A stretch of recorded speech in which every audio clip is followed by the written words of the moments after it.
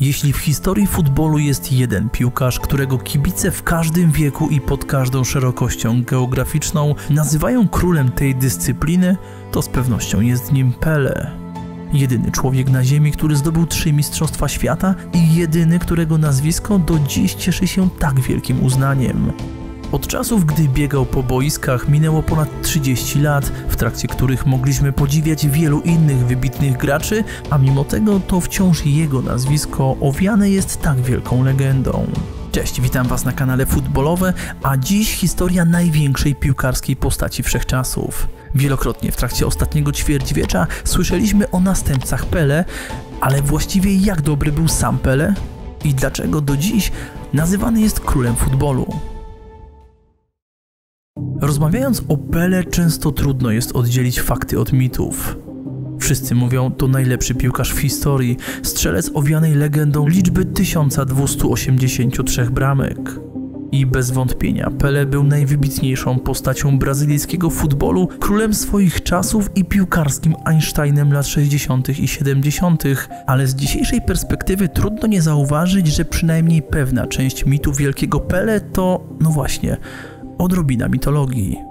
Urodził się jak większość brazylijskich gwiazd futbolu w biednej rodzinie jako Edson Arantes do Nascimento, otrzymując imię na cześć amerykańskiego wynalazcy Thomasa Edisona. Przydomek Pele, pod jakim znamy go dziś, nadali mu koledzy w czasach szkolnych, a pochodzi on od pseudonimu Bile, kolegi z drużyny ojca Pele, który był pierwszym piłkarskim idolem przyszłej gwiazdy futbolu, gdy ta nie potrafiła jeszcze nawet poprawnie wymówić tego słowa. Co ciekawe, sam Pele początkowo nie cierpiał tego przydomku, który jego zdaniem brzmiał okropnie i w niczym nie dorównywał imieniu nadanemu na cześć wielkiego wynalazcy. Raz pobił nawet swojego kolegę z klasy za zwracanie się do niego per Pele, ale inne dzieci, widząc jak drażni go to określenie, na złość zaczęły używać go jeszcze częściej. Na szczęście Pele szybko pogodził się z tą sytuacją, nie wiedząc jeszcze, że lata później, na dźwięk tego słowa, cały świat będzie padać na kolana.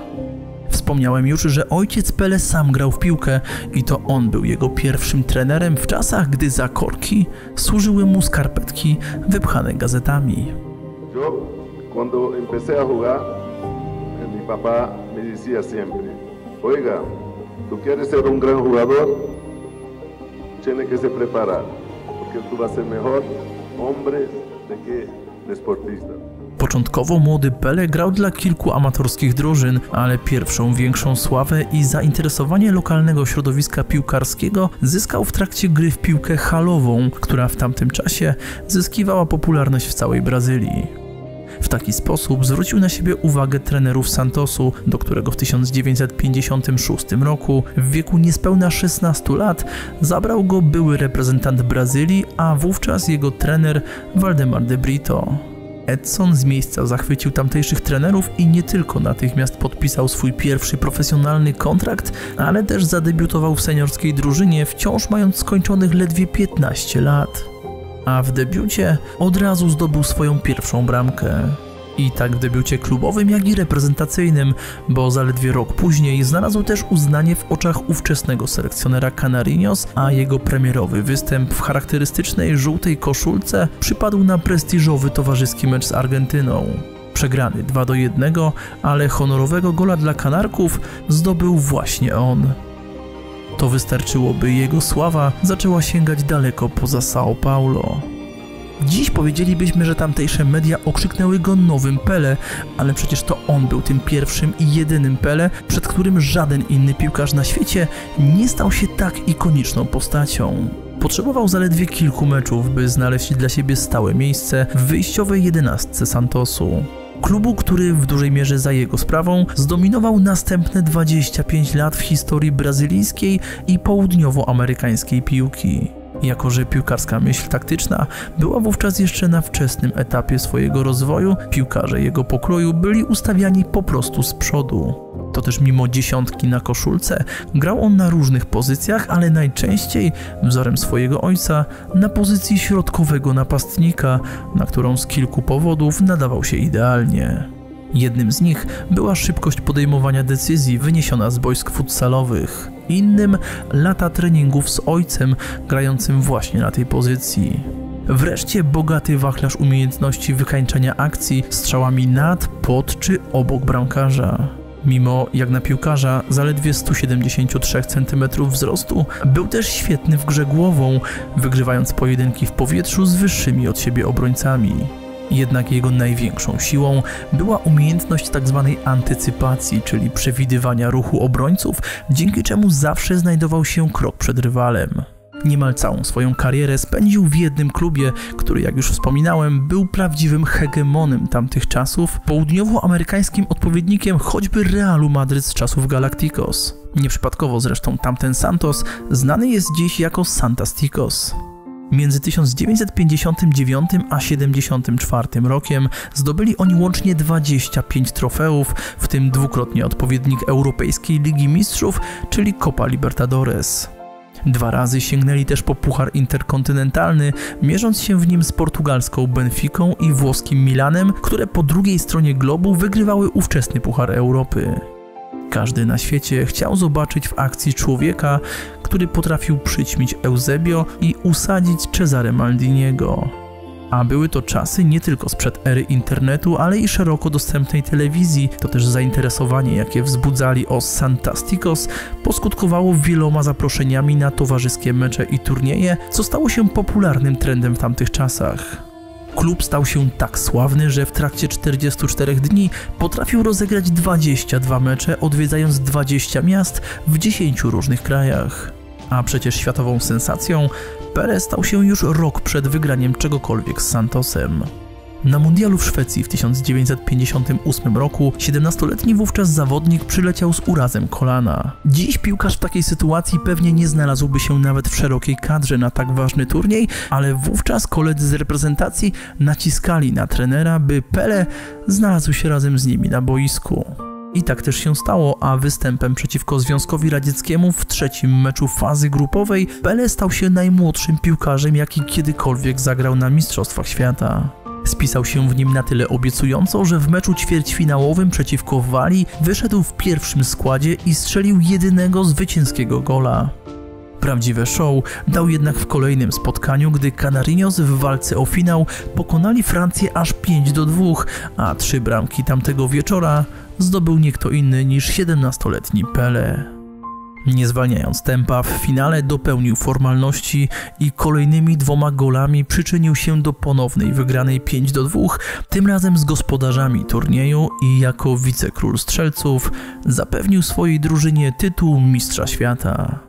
Was a beautiful history because eight years before Brazil lost for Uruguay the World Cup in the 50s. and my father was crying you know, with a lot of Brazilians there. Then I told him, Father, don't worry, I'm gonna win one World Cup for you. Don't worry, I was nine years. Dziś Brazylia jawi nam się jako wielokrotny mistrz świata, ale wówczas tamto zwycięstwo w Sztokholmie w 1958 roku było ich pierwszym złotem w historii i dopiero zapoczątkowało marsz po kolejne cztery tytuły.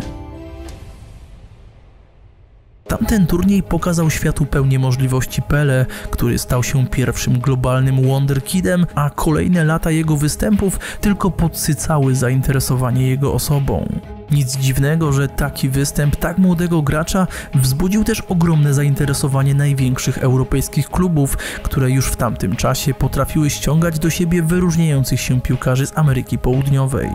Z włoskim Interem uzgodniono już ponoć nawet warunki kontraktu, ale klub i kibice Santosu zablokowali transfer, organizując wiece protestacyjne na ulicach miasta, które zmieniły jego przenosiny w sprawę rangi państwowej. Włączył się w nią nawet prezydent Gianni Quadros, który oficjalnie uznał Brazylijczyka za dobro narodowe, by zapobiec jego sprzedaży, a reszta świata musiała zadowolić się oglądaniem go co 4 lata na kolejnych mundialach, z czego dwa następne były dla niego kompletnie nieudane. Najpierw w Chile w 1962 roku, gdzie Brazylijczycy mieli zapewniony udział jako obrońcy tytułu.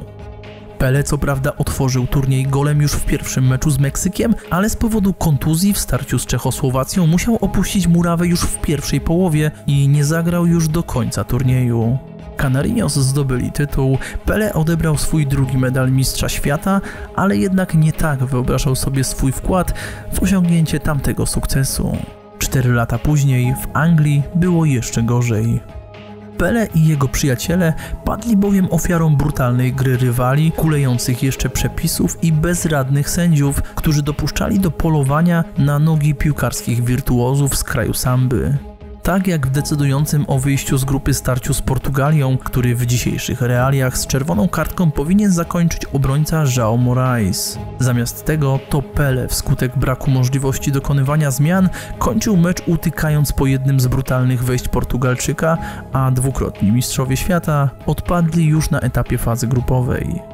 Po tamtym meczu 25-letni Pele zarzekał się, że nigdy więcej nie weźmie udziału w turnieju o Puchar Świata organizowanym przez FIFA.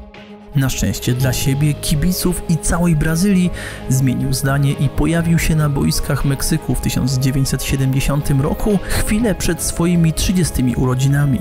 Był to pierwszy mundial, który doczekał się globalnego zasięgu za sprawą telewizyjnej transmisji w kolorze, którą mogli oglądać widzowie na całym świecie. Miliony kibiców w wielu miejscach świata po raz pierwszy w życiu mogły nareszcie na własne oczy doświadczyć mitu wielkiego Pele.